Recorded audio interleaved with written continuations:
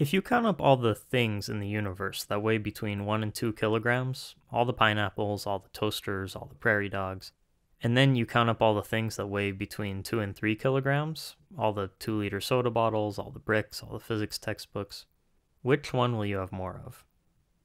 If you do this for all the weight classes, things that are 1 gram like Lego studs, things that are 10 to the power of 40 kilograms like supermassive black holes, then what will the shape of the distribution be? While you think about that, this funny paper caught my attention recently because it's a peer reviewed physics publication, and the subject of their experiment is Lego Ninjago, which is just so silly. I mean, what does that say about the state of scientific research? What value could there possibly be in doing experiments with trivial things like toys or food or musical instruments? Yeah, in all seriousness, this seems exactly like something I would do. In fact, I really think this is a clever paper, and it seems like something that I would make a video about, so I will. But why does LEGO show up? What is this study even about? Well, it's about the question I started off by asking you what is the distribution of mass in the universe? We sometimes call this a mass function, not to be confused with probability mass functions or binary mass functions, which are different concepts. If you take all the objects in the universe galaxies, stars, planets, dust weigh each one and count them up, how many small things should we expect there to be for each big thing? Some studies have tried to answer this before, so what the authors of this paper did is they asked the same question for Lego bricks. And it turns out there's a pretty surprising similarity. In this video, we're going to learn about the mass distribution of the universe. What percentage of all things weigh blank kilograms? And then, we're going to try to reproduce the results of this experiment that was done with Lego bricks. And we're not just going to repeat what they did. I made a way to expand this experiment to hundreds of Lego sets, and the results are really weird. I really think we might have discovered some kind of hidden law of Lego, and it might just agree with the laws of physics.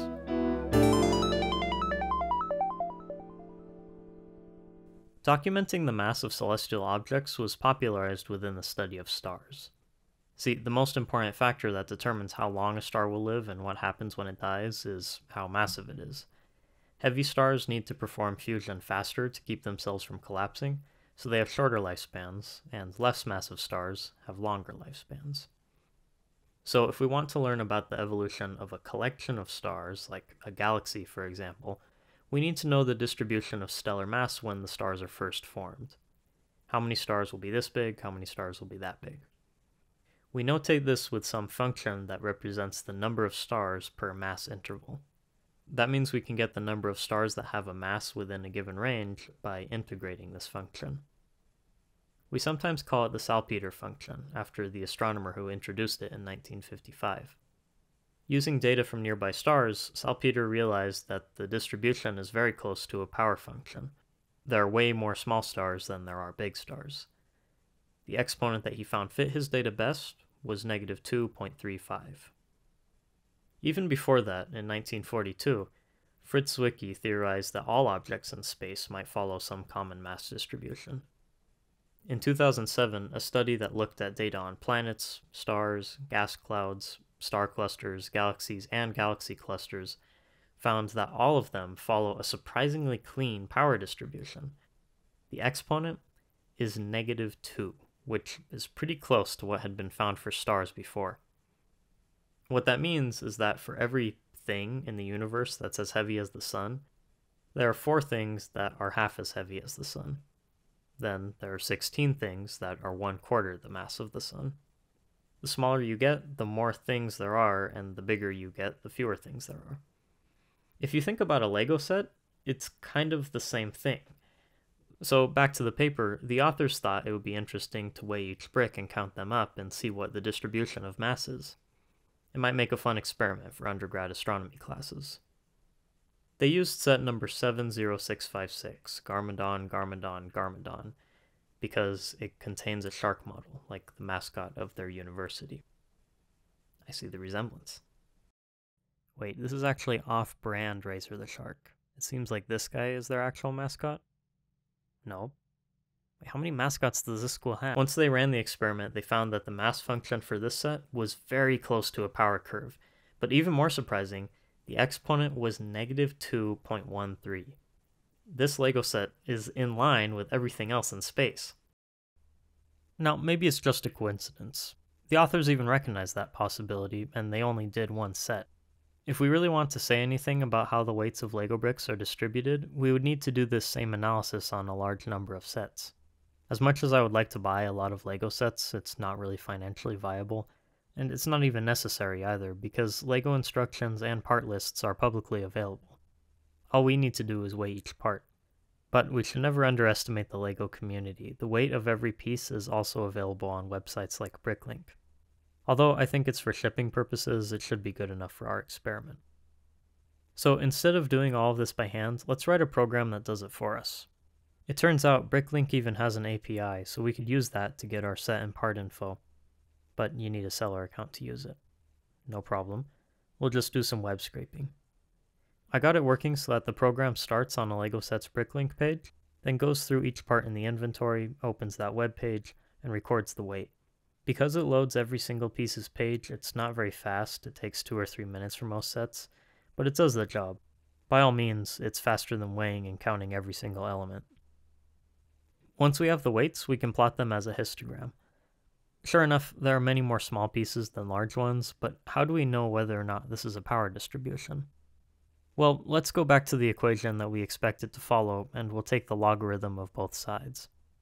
In case you need a refresher, a logarithm is the operation that undoes an exponent. I'm using log base 10, so log of 10 to the a equals a, and 10 to the log of a also equals a. Looking at our equation, we can use some logarithm rules to simplify the right side. Multiplication inside a log is the same thing as addition outside. Also, exponents inside a log are the same as multiplication outside. It looks like we just made our equation more messy, but really log of something, each of these, is just a number. And this is just the equation for a line, y equals alpha x plus b. What we've done is we took this power equation, which is curved, and we turned it into a linear equation. So if we plot the log of the number of bricks against the log of the mass, then it should look like a straight line, and it does. The slope of this line is the exponent. So if your data is curved and you want to fit a line to it, logarithms often do the trick. That's one of the reasons you'll see log plots in so many fields. Once we fit our line, we have the slope and therefore the exponent. For Garmadon, Garmadon, Garmadon, I got basically the same results as their experiment, so I think our process works. I'll make it so we can just enter a set product number and it runs the whole analysis, gives you the plots, and displays the best fit slope. I generated a random 5 sets and then picked one from those that seemed big enough to be a good sample, and I did that a few dozen times. The results are totally unbelievable. Every set has a slope of negative 2. Of course, there's some variation. There are some small sets that have a more uniform distribution, and sets that have unique designs, like a boat, might have a big hull piece, or Technic sets might have hundreds of these little pegs. But the overwhelming pattern is negative 2. Once again, that is the same distribution of all things in space. The interpretation of this number is for each piece of a given weight, there will be about 4 pieces that have half that weight, therefore 16 that have one quarter of the weight, and so on. This pattern appears to apply universally to LEGO sets and if it applies to most sets, it also applies to all of the LEGO bricks in the world. If one of you watching this is a LEGO designer or has some kind of industry knowledge, or maybe if you know someone, you can show them this video, I just need to know, is this some kind of design standard at the LEGO company? Does it have to do with manufacturing or playability or warehouse economics or, or something that would make them ask designers to include this particular distribution of parts? Or Maybe is it some cognitive thing? Maybe the way we construct things, we start with big pieces and then add smaller ones as we make details. I don't know. If you've made a Lego model of your own creation, try out this experiment and let me know what the results are. I think even after writing this program and trying it out a few dozen times, this needs more investigation. Is it just Lego, or does this work on everything? Maybe you can come up with a way to count every object in your house. Please, improve my code, try it out yourself, come up with other ways of counting. I don't know. I think this is really interesting. Besides not understanding the LEGO problem, everything following this negative 2 slope is really weird in astronomy. The reason it's weird is because all of the different objects in space are formed in completely different ways. For example, stars are formed from molecular clouds collapsing and fragmenting into smaller pieces, but galaxies are formed from stars clustering together into bigger pieces. Even if there was something about the creation process that ended up making things follow this distribution, why would it apply to so many classes of objects? There's really only one similarity that all matter in space has, and that's gravity. The gravitational force in classical mechanics is proportional to 1 over the distance squared, or r to the power of negative 2. This might be the negative 2 that we're looking for. Pretend that the universe is made up of all these balls of rock floating around. Maybe some of them have already congregated into a bigger rock and some haven't. If a rock is deciding where it'll group to, of course, being heavier makes the force stronger, but being close makes the force stronger faster. So it'll require adding a lot of rocks before the force from the big rock becomes so strong that the new rock chooses the big one over the close one. That means that we get more small groups than big ones, and in theory, the distribution should be proportional to 1 over mass squared. But whether this is really where the negative 2 comes from is a big maybe. Before we end, I'd like to tell you about this video's sponsor, Brilliant. If you want to learn more about stellar evolution, or gravity, or maybe you need to study data science to make a LEGO analyzing program of your own, then Brilliant.org is the best place to do it. Brilliant has thousands of lessons on STEM subjects from foundational math to quantum information, so whether you want to dive into a new topic or just practice your problem solving skills in a fun way, they'll have something for you. While preparing for this video, I worked through Brilliant's lessons on the life cycles of stars in the astrophysics course, and the lessons are so interactive that I found myself understanding things conceptually that I never even got from my degree in physics.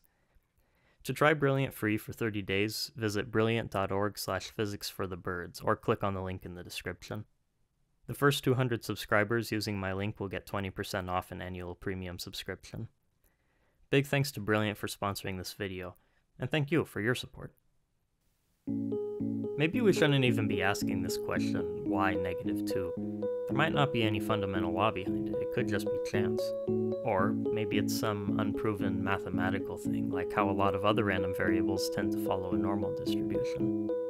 But when the physicist inside of me sees this pattern showing up in completely unrelated situations, I can't help but think that there's some reason for it.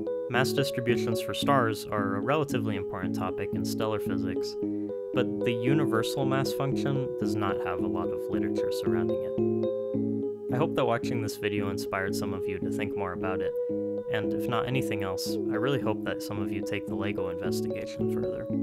I need to know why parts are distributed by weight so cleanly. Whether it's a universal law or not, I think it's really cool.